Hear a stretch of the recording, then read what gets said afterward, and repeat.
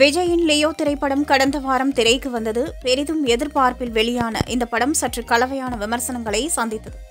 அப்படி இருந்த நிலையிலும் வசூலில் எந்த குறையும் வைக்காமல் நாளுக்கு நாள் புதிய சாதனைகளை பாக்ஸ் ஆபீஸில் படைத்து வருகிறது. படம் வெளிவந்து ஆறு நாட்கள் நிறைவடைந்துள்ள நிலையில் இதுவரை உலக அளவில் ரூபாய் நானூற்றி முப்பத்தி ஐந்து கோடிக்கு மேல் வசூல் செய்துள்ள நிலையில் தமிழக வசூல் குறித்து விவரம் வெளியாகியுள்ளது. அதன்படி தமிழ்நாட்டில் மட்டுமே ஆறு நாட்களில் ரூபாய் நூற்றி ஐம்பது கோடி வசூல் செய்து பாக்ஸ் ஆபீஸில் புதிய சாதனை படைத்துள்ளது.